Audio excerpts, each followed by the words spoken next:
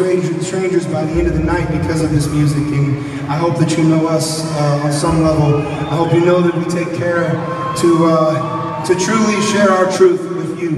And uh, we try to bring it every single night on stage and, and share it with you and, and to feel that closeness. That's what we want as humans, right? To be connected. So thank you for being here.